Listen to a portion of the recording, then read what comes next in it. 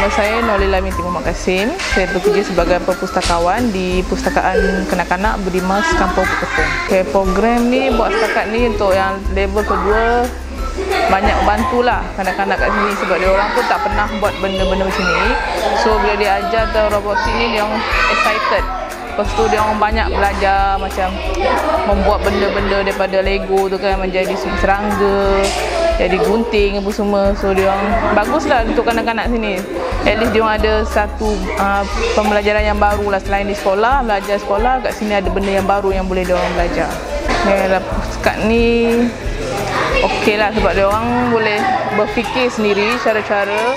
Selain berpandukan pada daripada laptop yang diberi dia orang boleh cipta uh, benda-benda sendiri. So dia punya pemikiran dia orang kira macam terbuka lah. Dia orang boleh buat sendiri. Kira dia orang ada idea lah untuk membuka buat benda-benda selain daripada benda yang dia ajar dia boleh buat benda yang lain lagi untuk okay, cadangan ni uh, kalau boleh teruskan lah.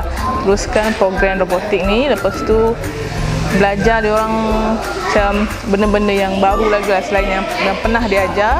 Uh, belajar benda yang dia orang tak pernah ajar lagi lah.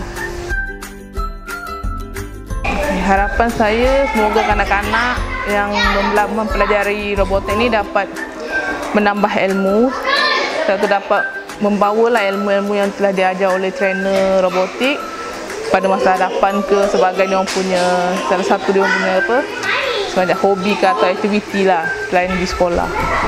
Okay.